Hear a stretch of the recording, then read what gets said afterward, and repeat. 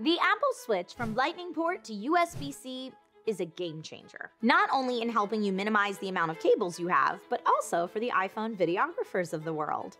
Listen up as we dive into how you can record ProRes 4K video at 60 frames per second, all on your iPhone. This is DIY in 5. Hey everyone, I'm Trisha Hershberger, and you are watching DIY in 5, the show where we break down common tech woes so you can tackle things on your own, all in a video that's 5 minutes or less. September 2023, Apple unveils their latest smartphone, the iPhone 15, to the world, boasting many upgrades over previous gens, but most notably saying bye bye to the Lightning connector and hello to the USB C. Now, there's lots you can do with the new USB C port in addition to charging your phone, such as turning your phone into a power bank for your AirPods, Apple Watch, or even another iPhone 15. Also, you can connect the iPhone 15 to an external storage device via the USB C port, expanding your storage to your heart's content. And most importantly, for the smartphone video content creators of the world, if you have the Pro version of the smartphone, connecting the right external storage device will allow you to record high res video directly to the drive and skip the internal storage of the iPhone 15 altogether. Now, external storage for your phone is great on its own. Offloading photos, videos, documents, and more can free up precious storage on your phone, saving you money on cloud services and saving your smartphone from running out of space. External SSDs are a great option for iPhone users looking to expand their device's storage. The advantage of external SSDs is their size, portability, and high speeds.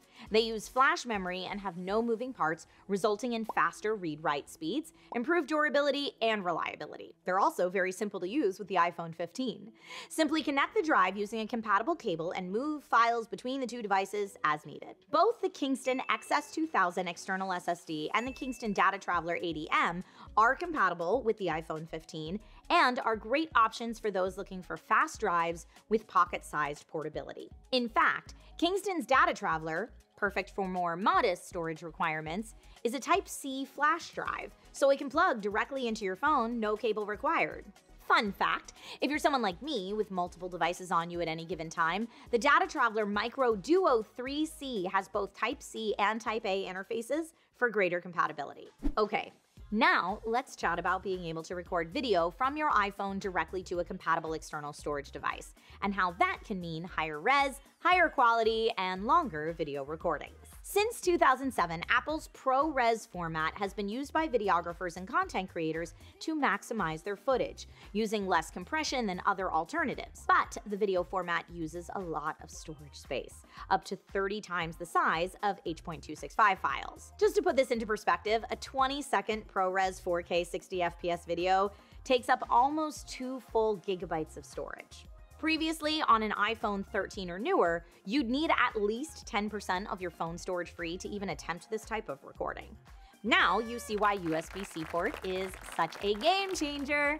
In order to even record ProRes 4K 60 FPS footage, Apple requires an external storage device. For this, you'll need an iPhone 15 Pro or 15 Pro Max and a drive that meets all Apple's requirements, namely a USB-C connection with support for 10 gigabits per second, write speeds of at least 220 megabyte per second, and a non-password protected drive formatted with APFS or exFAT.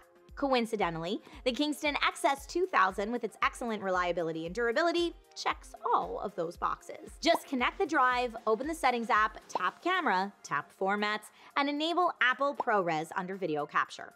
To record a ProRes video, open the camera app, select video, tap ProRes at the top of the screen, then record your video. The videos can be viewed directly from the iPhone using the Files app or disconnect the external drive and view the recordings on your secondary device. So what movie, music video, or YouTube series are you making with your new iPhone? Share your creations in the comments. And if you found this video helpful, please give it a like, share it with your filmmaking buddy, and subscribe to the channel so you don't miss out on any future tech tips. My name's Trisha Hershberger, and I will see you next time with more DIY in 5. I'm sorry, what? I thought you said you were an actor. We hired you here because you were gonna get it done, and here we are, and you're sucking up a storm. You've ruined my shot. Thank you. Thank you.